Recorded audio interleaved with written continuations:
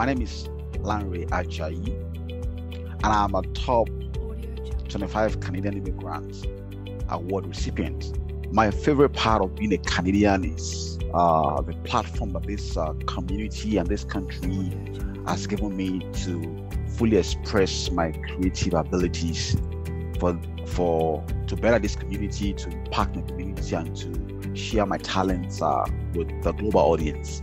This award means uh, so much to me in the sense that it's an opportunity to do more. So much is given, much is expected.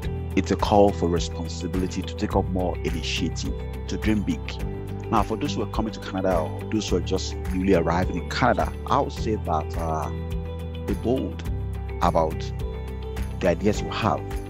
Be intentional in the path you want to follow, and then never say never to what you have. You never know what you can do until you set your mind and your heart to what you want to do.